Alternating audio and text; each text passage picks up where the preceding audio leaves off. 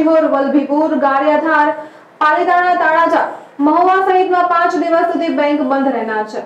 આવી સ્થિતિમાં બેંકો સાથે સંબંધિત કામગીરીને વહેલી તકે પૂર્ણ કરવા માટે સૂચના આપવામાં આવી છે.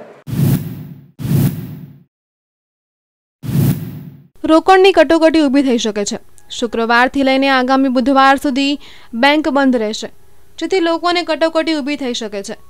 બેંક કર્મચારીઓના સંગઠન United Forum of Bank Union દ્વારા છવ્વીસમી ડિસેમ્બરના દિવસે હડતાલની જાહેરાત કરવામાં આવી છે. પરંતુ હવે કેટલીક બેંક યુનિયનોએ આવતીકાલે એકવીસમી ડિસેમ્બરના દિવસે પણ કામકાજ ખોરવી નાખવાની જાહેરાત કરી દીધી હતી.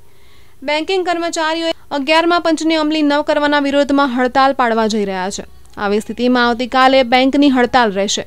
ત્યારબાદ મહિનાના ચોથા શનિવાર અને ત્યારબાદ રવિવારના દિવસે રજા રહેશે.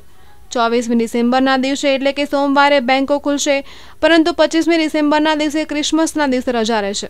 છવ્વીસમીના દિવસે બેંક યુનિયનોએ હડતાલ પાડવાની જાહેરાત કરી છે.